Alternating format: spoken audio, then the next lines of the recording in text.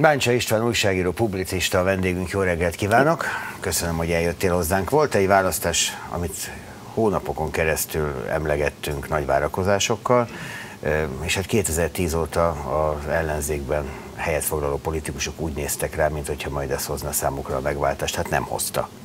De az a meglepő, és számomra igazán meglepő, hogy milyen kétségbeesett indulatokat váltott ki, és milyen főleg kétségbeesést az ellenzék értelmiségében ez az eredmény, mint hogyha valami olyan történt volna, ami összedönti az ő világukat.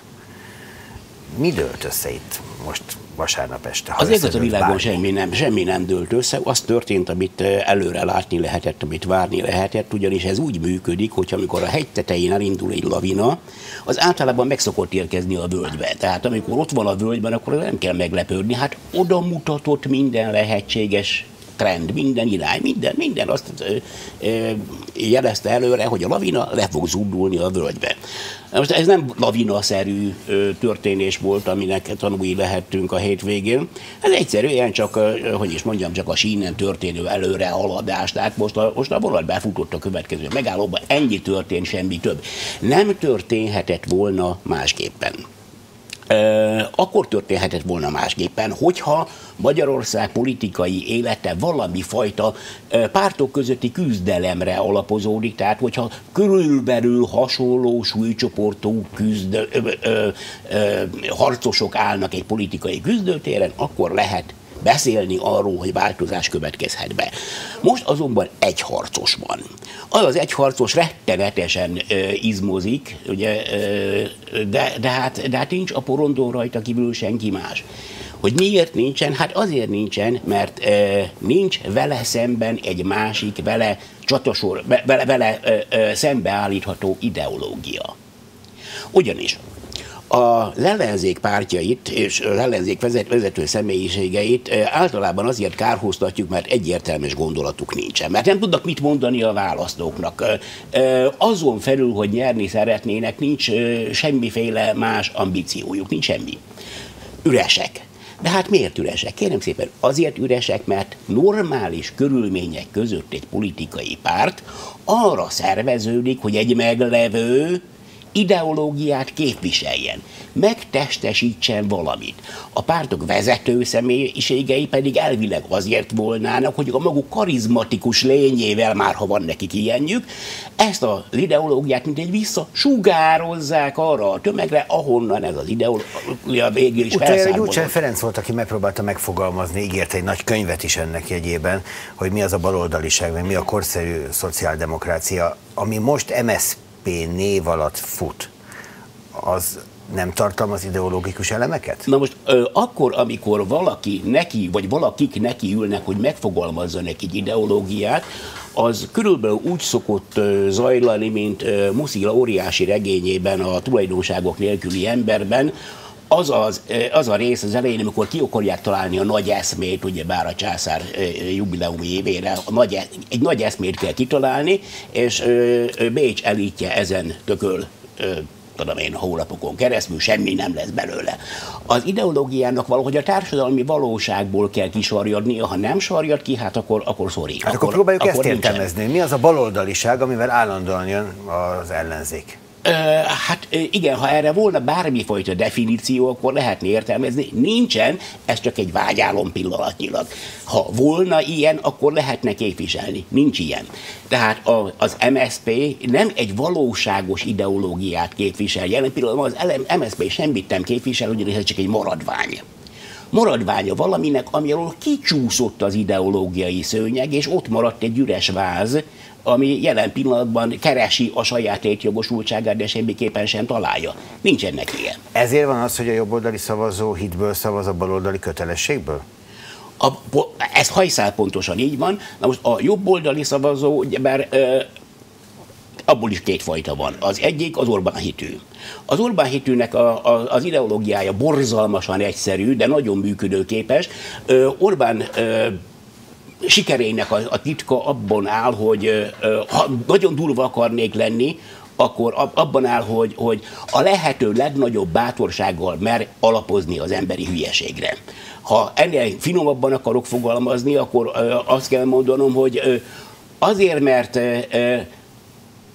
igen érzékenyen, finom ujjakkal tapogatta ki a magyar népesség, sőt a magyar történelem legvisszataszítóbb vonásait, ezekből csinált egy, egy ilyen ajándékcsomagot, ezt nyújtotta át a választóinak, akik hihetetlen nagy örömmel fogadták, és ebből állt össze a nemzeti Na de hát akkor ők nem látják rendszere. visszataszítónak. Ők szépnek látják, gusztusosnak, Igen, az ő párhuzamos valóságukban ez úgy szép, ahogy van. Hiszen e, tulajdonképpen minden embernek megvan a saját, saját valósága, az, ami tükröződik, hát ahogy az ember az objektív valóságot látja, az az ő saját világa. Most más kérdés, hogy azért a nagy embercsoportoknál mégiscsak van valami fajta hasonlulás az egyéni valóságok között, de két nagy embercsoport párhuzamos valóságai totálisan eltérhetnek egymástól. Hát az övék ilyen, de milyen a másik? És lehetséges, hogy a másik igazából nincs is. Tudnélik, az, hogy nincs más ideológia, csak az Orbán hitűeké, ez azt jelenti, hogy azért nincsen, mert nincs rá fogadókészség, mert nincs rá társadalmi igény. A lakosságnak az, a, az az óriási többsége, amelyik mindenfajta ideológiai elkötelezettség nélkül báván volt hajlandó elviselni mindent, amit Orbán művelt az elmúlt négy évben, olyan dolgokat, amelyek egy normális országban, ahogy man, szokták mondani, a biztosítékot első pillanatban kiverték volna, vagy ahogy normálisabban megfogalmazhatnánk, utcára vitte volna emberek millióit, hogy más nem mondjak, csak a legutóbb apró kis csintevését, amikor is egy olyan hitelszerződést írt alá, az oroszokkal, amitől az emberben a csontvelő megdermed, amikor elolvassa, hogy mégis miről van szó, és mindez a színfalak mögött, ez egyszerűen elképzelhetetlen, hogy egy bár, vagy bármilyen civilizált államban megtörténhessen. Nálunk úgy történt meg, hogy az emberek a fülük butját nem mozgatták. Mármint ugyebár a, az Orbán hitűeken kívüli tömeg. Tehát az Orbán hitűeken kívüli többség egyszerűen birkaként viselkedik, sajnálatos módon ezt kell mondanom, birkaként viselkedik, már pedig birka mentalit- mentalitásra polgári demokráciát építeni nem lehet. Ö, 25 éve próbálkozunk ezzel, nem jön össze, nem működik. Hát csak a népet leváltani nem lehet, a népet hülyének nézni Hát ez az. veszélyes, hosszú távon különösen, meg hát ráadásul a nép nem hülye. Tehát a nép a saját érdekei mellett teszi le a garast. Akik most nem mentek el szavazni, meg akik Orbán Viktorra szavaztak, vagy hát a Fidesz-KDNP párt csoportra, ők tudják vajon, hogy mi az ő érdekük? Vagy ők tudják igazán, hogy mi az ő érdekük? Szerintem, szerintem nem tudják. Én, én mindkét csoportról azt mondanám, hogy valójában saját érdekei ellen szavaz, saját érdekei ellen cselekszik. Akkor is, ha nem cselekszik, akkor is, hogyha aktívan támogatja a, az Orbánizmust. Ez ugyanis egy zsákutcás. Ö, ö, Na de a téged hallgatlak, a másik oldal is zsákutca. A- Az is zsákutca, nem kétséges. Nem Na de kétséges. van, van egy utcánk? Legalább egy, amelyiknek van folytatása? Ö, igen, de a folytatás sajnos valahol a mélységben van. Ö, én azt hiszem, hogy ebből az egészből ö, ennek az egésznek akkor lesz vége, amikor az urbánizmus spontán kifullad, amikor megszűn, amikor szétesik, amikor, amikor darabjaira hullik széjjel, mint egy túlzottan lehasznált automobil az autópályán. Tehát kész, vége, amikor már nem lehet tovább menni. Más kérdés, hogy mi jön akkor utána. És nekem ezzel kapcsolatban lehető legpesszimistább feltételezéseim vannak. A jobbik? A jobbik, igen. Ugye, és, az a másik működő ideológia, amire még van Magyarországon valami fajta kereslet, többre nincs. Több, többet azért nem lehet előállítani, mert nincs A rá vevő. nemzetinek mondott erőszak? Nem, fel, nem feltétlenül az erőszak oldalára gondolok, de am- ami ezen kívül van még abban az egységcsomagban, hát az, az, az ö, minden tekintetben gusztustalan, de, de az működhet, és pedig azért, mert mert ennek a gyökerei valójában a rendszerváltozás környékén keresendők, tehát akkor, amikor megindultunk a, a fényes új jövőbe, úgy, hogy senki nem törődött azzal, hogy a mostantól kezdve rövid időn belül törvényszerűen leszakadó nagy létszámú néptömegekkel mi is lesz majd a továbbiakban, ez akkor nem volt kérdés.